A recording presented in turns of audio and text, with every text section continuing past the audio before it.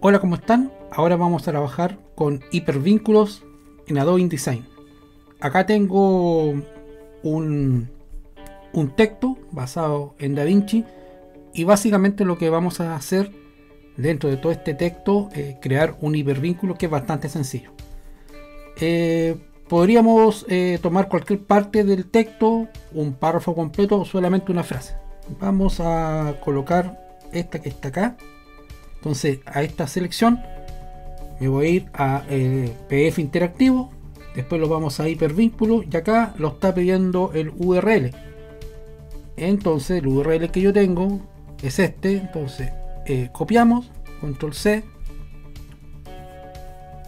nos vamos al, hipervínculo y acá solamente borramos eso y control V y pegamos entonces cuando aparece ese mm, ese botón verde significa que, la dirección está correcta. Entonces automáticamente queda el, texto de color azul en este caso y con una línea abajo aunque yo también uno lo podría intervenir si quisiese colocando por ejemplo un mayor espesor mm, da lo mismo. Eso también ocurre con una imagen. Yo una imagen también podría transformarla en un botón eh, a un hipervínculo.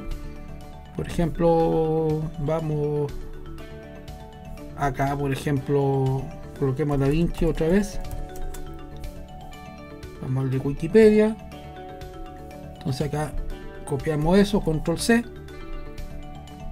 Esto que está ahí, ¿no es cierto? Eh, también podríamos hacerlo con URL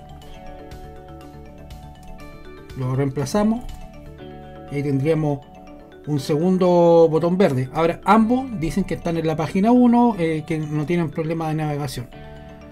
Ahora, si quisiéramos hacer eh, ahora en este mismo texto, o mm, por ejemplo pinchar y que escribamos, eh, poder escribir el autor en un correo electrónico, vamos a colocar acá, entonces aquí colocamos escribe al autor por ejemplo solamente. Ahora esto que está acá eh, lo podemos hacer de la siguiente forma. Vamos a borrar un poquito esto. Em, en ventana buscar interactivo botón y formulario. Aquí está el botón y formulario. Entonces este objeto que está acá creamos un botón.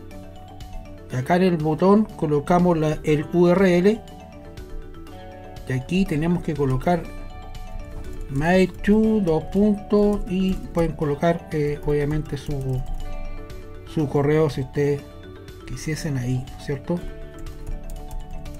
oh, entonces si uno quisiera visualizar esto en este icono que está abajo o exportamos todo lo que está acá entonces ahí aparece eh, muy pequeño que lo podríamos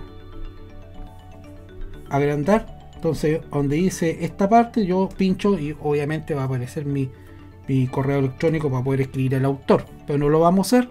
Entonces esto vamos a probar cómo quedó.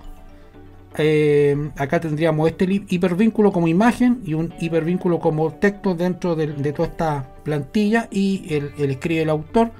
Entonces archivo exportar eh, vamos a colocar prueba 2 como PDF interactivo, recuerden eso, no para imprimir interactivo y guardar, exportar, y ahí tenemos el PDF interactivo. Entonces, por ejemplo, si yo paso con el puntero, se fijan, y aparece una mano, o sea, quiere decir que ya y te está mostrando la dirección.